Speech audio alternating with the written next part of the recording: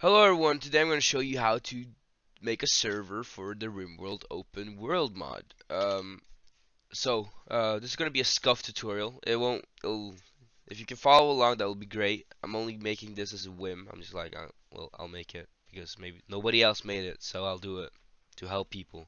Anyways, what you want to do is first download the mod. Um, you will be able to find this by yourself. You, you don't need babysitting, right?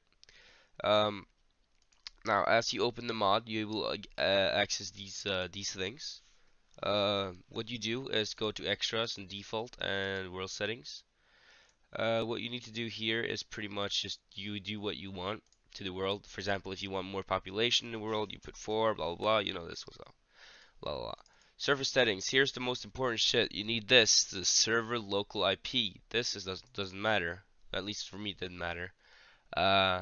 And you can of course name your server. It doesn't matter. Uh, max players, uh, all this stuff. Um, now, uh, you might be wondering how we're gonna make this because in the in the official website it says that you have to use port forwarding, and I'm not too keen on port forwarding. So what we're gonna do is search up Hamachi online, right?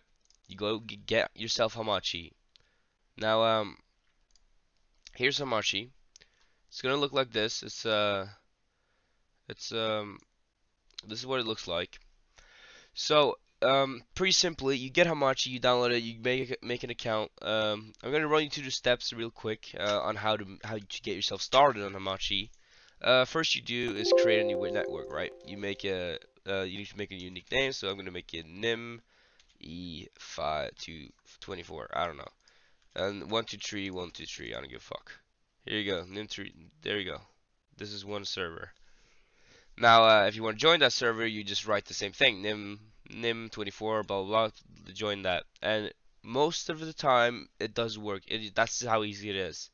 Now, you want to, to get the server IP, you want to click on the, per, the person who's hosting, you want to click here, and copy PV4 address. This is important, uh, because you need that's the thing you also put on here. You put it right here. The local IP. You put that the PV4 that you copied from Hamachi right here. um, from there on, uh, after you've done that, you can just close this and um, uh, you can just start up the server. Uh, it's pretty simple. Uh, you just um, click on this, uh, you extract all, blah blah blah. You need to extract this whole thing.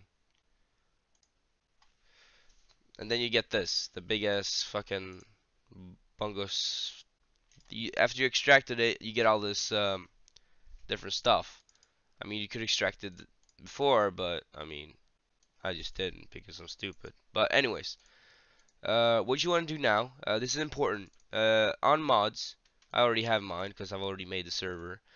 Uh, what you want to do is put your, your all of these folders into the fucking uh, into the mods. You want to put those folders in there.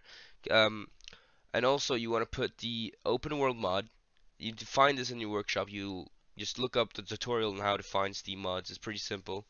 Um, then you put all three mods. Uh, this is Harmony. This is fucking uh, blah blah blah, and this is uh, Open World mod. HugsLib and Open World mod. That's all you need. Now, uh, you open up this thing. Uh, oops, what's going on? Anyways, as you can see, it's running. Perfect. Um, and yeah, that's pretty much it. If this doesn't work for you, then uh, I I don't know. That's what I did. Uh, thank you. This is such a scuff tutorial. God damn.